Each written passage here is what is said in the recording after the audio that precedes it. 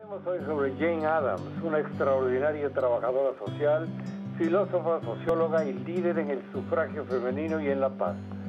Fue una de las más prominentes reformadoras y ayudó a guiar a los Estados Unidos en asuntos relacionados con las madres, tales como las necesidades de los niños y la salud pública. Se hizo famosa al decir que si las mujeres eran responsables de la limpieza de la comunidad, necesitaban el voto para poder hacerlo bien. Pronto se convirtió en el modelo a seguir. Es reconocida como la fundadora de la profesión de trabajadora social en los Estados Unidos. Hasta su muerte en 1935, Jane Addams edificó su reputación como la mujer más prominente del país gracias a sus escritos, trabajos de asentamiento y esfuerzos internacionales por la paz mundial.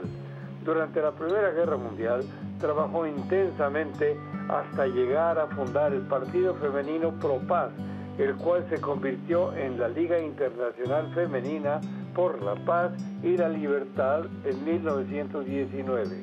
Fue la primera estadounidense en recibir el Premio Nobel de la Paz en 1931. Junto con Ellen Gates Starr, fundó en Chicago en 1889 la famosa Casa Hall, dedicada íntegramente a asentamientos sociales, los cuales se iniciaron en Londres alrededor de 1880 en respuesta a los problemas creados por la urbanización, industrialización e inmigración.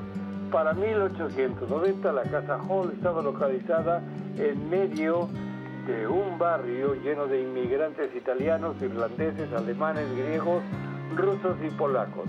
Para 1920 había en Estados Unidos 500 casas similares a la Casa Hall en todo lo que estuviese relacionado con la protección de la mujer, de la juventud y de la niñez. Ahí estaba presente Jane Addams.